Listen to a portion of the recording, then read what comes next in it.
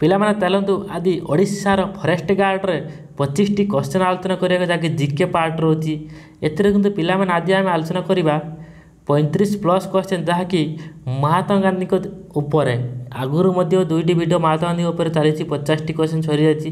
ଆଜି ମଧ୍ୟ ଆଉ ବାକି ଅଛି ଛତିଶଟି କ୍ୱେଶ୍ଚନ୍ ତାହା ଆଜି ଆଲୋଚନା କରିବା ପିଲାମାନେ। ଦେଖନ୍ତୁ ଆଜି ଚାଲନ୍ତୁ ଫାଷ୍ଟ କ୍ୱେଶ୍ଚନ୍ଟି କ'ଣ ଦେଖିବା ଗାନ୍ଧୀଙ୍କ ଉପରେ ଯାହାକି ଜିକେ ପାର୍ଟର ଆସିଥାଏ ଏଗୁଡ଼ାକ। ଗାନ୍ଧୀଙ୍କ ପୁରା ନାମ କ'ଣ? ପିଲାମାନେ କୁହନ୍ତି। ଏଇଟା ସମସ୍ତେ ଜାଣିଥିବ। ମୋହନଦାସ କରମଚାନ୍ଦ ଗାନ୍ଧୀ ଗାନ୍ଧୀଙ୍କ ପୁରା ନାମ ରହିଲା। ନାଟଲ ଭାରତୀୟ କଂଗ୍ରେସ କେଉଁ ପ୍ରକାର ଅନୁଷ୍ଠାନ ପିଲାମାନେ? କେଉଁ ପ୍ରକାର? ଏଟା ଦେଖନ୍ତୁ ରାଜନୈତିକ ଅନୁଷ୍ଠାନ ଗୋଟିଏ। ଚମ୍ପାରଣ ଜିଲ୍ଲାଟି କେଉଁ ରାଜ୍ୟରେ? ଏଟା ବିହାର ରାଜ୍ୟର ଚମ୍ପାରଣଟି ପ୍ରଥମ ସେଇଠି ସତ୍ୟାଗ୍ରହ ଆରମ୍ଭ ହୋଇଥିଲା। ନିମ୍ନଲିଖିତ ବ୍ୟକ୍ତିମାନଙ୍କ ମଧ୍ୟରୁ କିଏ ଗାନ୍ଧୀଙ୍କ ସହ ଚମ୍ପାରଣ ଯାଇନଥିଲେ ଏଠି ସମସ୍ତଙ୍କ ମଧ୍ୟରୁ କେଉଁ ଜଣେ କି ଯାହାକି ଚମ୍ପାରଣ ଯାଇନଥିଲେ ପିଲାମାନେ? ଗୋପାଳ କୃଷ୍ଣ ଗକେ ଲିଖି ଯିଏକି ଯାଇନଥିଲେ ସର୍ଦ୍ଦାର ବଲ୍ଲଭଭାଇ ପଟେଲ କେଉଁ ସ୍ଥାନର ଆଇନଜୀବୀ ଥିଲେ? ସେଟା ଅହମ୍ମଦାବାଦରେ ଥିଲେ। ଜାଲିଆନାବାଗ ହତ୍ୟାକାଣ୍ଡର ସରକାରୀ ହିସାବ ଅନୁସାରେ ଆହତ ସଂଖ୍ୟା କେତେ ଥିଲେ? ଯେ ଜାଲିଆନାବାଗଠାରୁ ହତ୍ୟାକାଣ୍ଡ ହୋଇଥିଲା ତିନି ସରକାରୀ ହିସାବ ଅନୁସାରେ କେତେ ଆହତ ସଂଖ୍ୟା ଥିଲେ?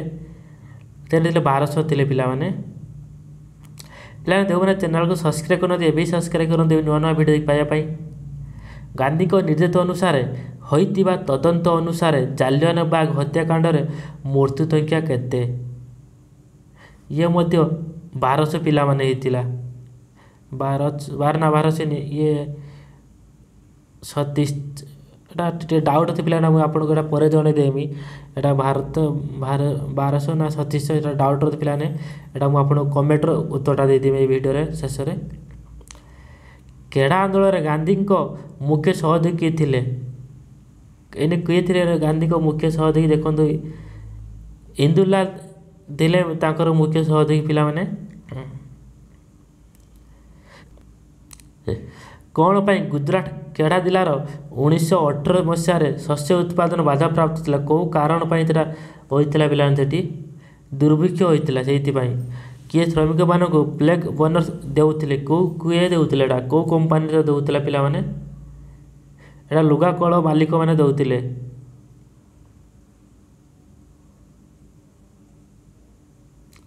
କ'ଣ ପାଇଁ ଗୁଜୁରାଟ ଅହମ୍ମଦାବାଦ ଠାରେ ଲୁଗା କଳର ମାଲିକ ଏବଂ ଶ୍ରମିକମାନଙ୍କ ମଧ୍ୟରେ କଳହଳ ସୂତ୍ରପାତ ହୋଇଥିଲା। କ'ଣ ପାଇଁ ପିଲାମାନେ ହେଇଥିଲା? କୁହନ୍ତି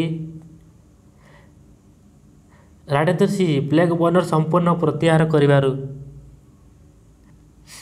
କେଉଁ ଆନ୍ଦୋଳନ ଥିଲା? ଗାନ୍ଧୀଜୀଙ୍କ ପ୍ରଥମ ଜାତୀୟ ସ୍ତରୀୟ ଆନ୍ଦୋଳନ? ଏଇଟା ଥିଲା କିନ୍ତୁ ରାଉଲତ ଆଇନ ସପକ୍ଷ ଆନ୍ଦୋଳନ ଥିଲା ଗାନ୍ଧୀଜୀଙ୍କର। ନା ରାଇଟ୍ ଆନ୍ସର ସରି ଭୁଲ।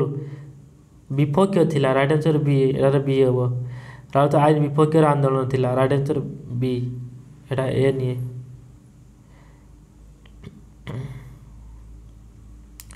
ଇଂରେଜ ସରକାର ଇଂରେଜ ସରକାର ଭାରତରେ ବିଦ୍ରୋହ ଓ ବିପ୍ଳବାତ୍ମକ କାର୍ଯ୍ୟକଳାପକୁ ଦମନ କରିବା ପାଇଁ କାହା ସହାୟତାରେ ଏକ କମିଟି ଗଠନ କରିଥିଲେ ବିଚାରପତି ରାଓଲାତଙ୍କ ସହାୟତାରେ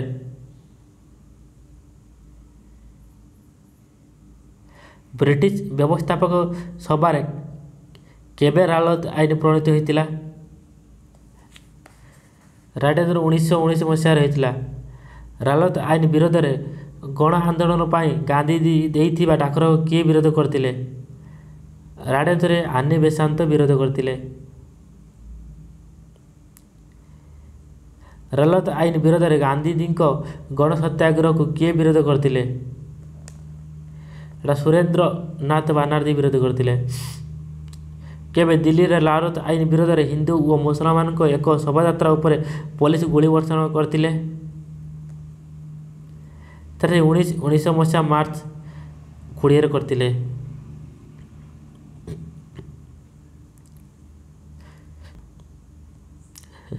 କେବେ ଗାନ୍ଧୀ ଏକ ସତ୍ୟାଗ୍ରହ କମିଟି ଗଠନ କରି ଏକ ସଭ୍ୟମାନଙ୍କୁ ରାଲତ ଆଇନକୁ ଅମାନ୍ୟ କରିବା ପାଇଁ ତଥା ବିରୋଧର ବିରୋଧରେ ସତ୍ୟ ଅହିଂସା ଭିତ୍ତିକ ଆନ୍ଦୋଳନ କରିବା ପାଇଁ ପ୍ରବର୍ତ୍ତାଇଥିଲେ କେବେ ସେଟା ପିଲାମାନେ?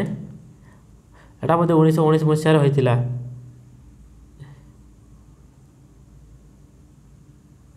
ରାଉତ ଆଇନ ବିରୋଧରେ କେବେ ଦେଶବ୍ୟାପୀ ହରତାଳ ପାଳନ କରାଯାଇଥିଲା? ଏଇଟା କେବେ ହେଇଥିଲା ପିଲାମାନେ? ରାଇଟ୍ ଆନ୍ସର୍ ବି ଉଣେଇଶହ ଉଣେଇଶ ଏପ୍ରିଲର ଛଅରେ ହେଇଥିଲା। କେବେ ଦିଲ୍ଲୀରେ ହରତାଳ ପାଳିତ ହୋଇଥିଲା? କହୁଛି ପିଲାମାନେ କେବେ ଦିଲ୍ଲୀରେ ହରତାଳ ପାଳିତ ହୋଇଥିଲା ଏଇଟା ଉଣେଇଶହ ଉଣେଇଶ ମାର୍ଚ୍ଚ ତିରିଶ ତାରିଖରେ ହୋଇଥିଲା ପିଲାମାନେ ଏଇଟା କାହା ସମ୍ପାଦନରେ ନବଜୀବନ ଓ ୟଙ୍ଗ ଇଣ୍ଡିଆ ନାମକ ଦୁଇଟି ପତ୍ରିକା ପ୍ରକାଶ ପାଇଥିଲା? ଭେରି ଭେରି ଇମ୍ପୋର୍ଟାଣ୍ଟ ପିଲାମାନେ ଏଇ ଟାଇପ୍ର କ୍ୱେଶ୍ଚନ୍ ବହୁତ ଥର ଆସିଥାଏ। ମହାତ୍ମା ଗାନ୍ଧୀଙ୍କ ସମ୍ପାଦନରେ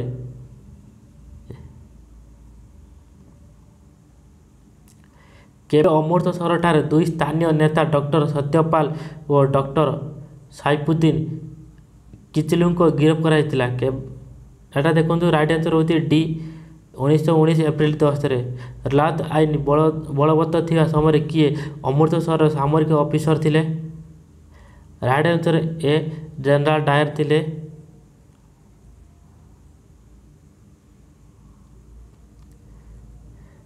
କେଉଁ ଘଟଣାର ପ୍ରତିବାଦ ସ୍ୱରୂପ ବିଶ୍ୱକବି ବରୀନ୍ଦ୍ରନାଥ ଠାକୁର ନାଟାଲ ପଦ ଛାଡ଼ିଥିଲେ? ସରି ନାଇଟ୍ ପଦ ନାଇଟ୍ ପଦ ଛାଡ଼ିଥିଲେ ଏଇଟା। ଚଉସ୍ତରୀ ନମ୍ବରରେ ଦେଖନ୍ତୁ ପିଲାମାନେ right answer D.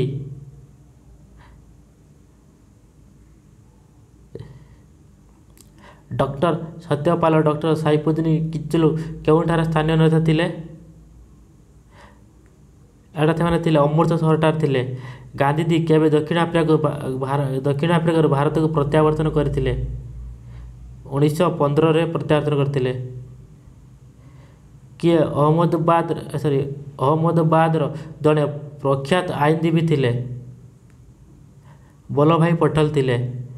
ଶ୍ରୀମତୀ ଆନି ବେସାନ୍ତ ଗାନ୍ଧୀଙ୍କ କେଉଁ ଆନ୍ଦୋଳନକୁ ବିରୋଧ କରିଥିଲେ?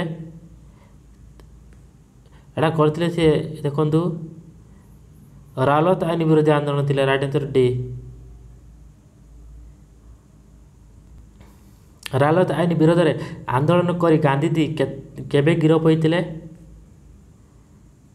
ଏଇଟା କରିଥିଲେ ଉଣେଇଶହ ଉଣେଇଶ ଏପ୍ରିଲ ନଅରେ ବିରୋଧ ମାନେ ଗିରଫ ହୋଇଥିଲେ ନିମ୍ନଲିଖିତ ମଧ୍ୟରୁ କିଏ ଗାନ୍ଧୀଙ୍କୁ କାଇଦରୀ ହିନ୍ଦ ଉପାଧି ପ୍ରଦାନ କରିଥିଲେ କିଏ କରିଥିଲେ ଏଇଟା ସେଟା ଇଂରେଜ ସରକାର କରିଥିଲେ ବିଶ୍ୱକବି ରବୀନ୍ଦ୍ରନାଥ ଠାକୁର ଇଂରେଜମାନେ କେଉଁ ଉପାଧିରୁ ଭୂଷିତ କରିଥିଲେ? ଏଇଟା ସାର ପଦବୀରେ ଭୂଷିତ କରିଥିଲେ। କେଉଁ କ୍ଷେତ୍ରରେ ନାଇଟ୍ ଉପାଧି ପ୍ରଦାନ କରାଯାଏ? ସରକାରୀ ବିରୋଧୀ ଆନ୍ଦୋଳନ ନେତୃତ୍ୱ ପାଇଁ।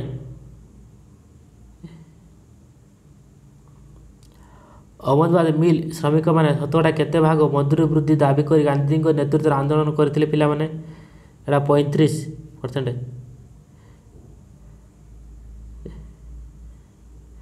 ସତ୍ୟାଗ୍ରହ ହେଉଛି ସତ୍ୟ ପ୍ରତି ଆଗ୍ରହ ଏକ ଶାନ୍ତିପୂର୍ଣ୍ଣ ଆନ୍ଦୋଳନ। ଏହା ଉକ୍ତିଟି କାହାର? ଦେଖୁନି ଉକ୍ତିରେ ଗାନ୍ଧୀଙ୍କ।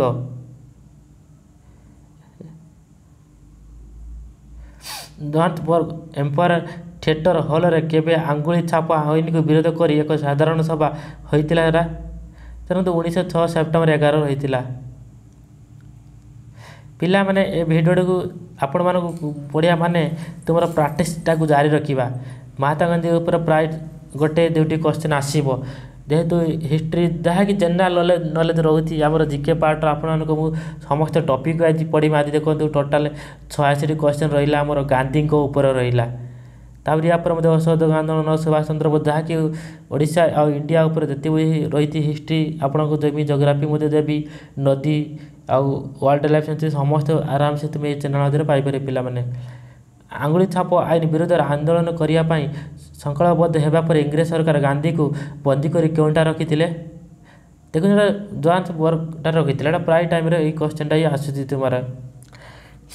ଭିଡ଼ିଓ ଶେଷରେ ଆପଣ ଗୋଟେ କଥା ଆପଣ ଭିଡ଼ିଓକୁ ଗୋଟେ ଲାଇକ୍ କରନ୍ତୁ ଚ୍ୟାନେଲକୁ ସବସ୍କ୍ରାଇବ୍ କରନ୍ତୁ ମୋତେ ମୋଟିଭେଟ୍ ମଧ୍ୟ ହେବ ୟା ପରେ ମୋତେ ସମସ୍ତ ଟପିକ୍ରେ ମୁଁ ଆପଣଙ୍କୁ ଭିଡ଼ିଓ ଦେବି।